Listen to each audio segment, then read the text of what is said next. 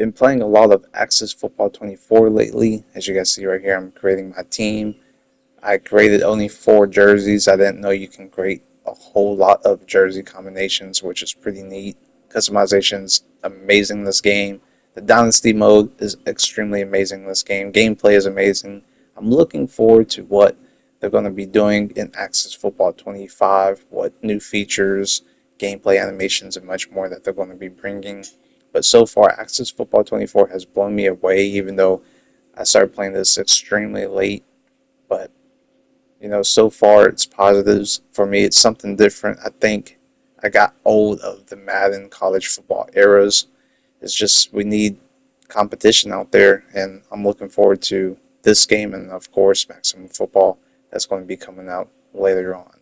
Let me know what you guys think down below. See you guys next time. I'm out.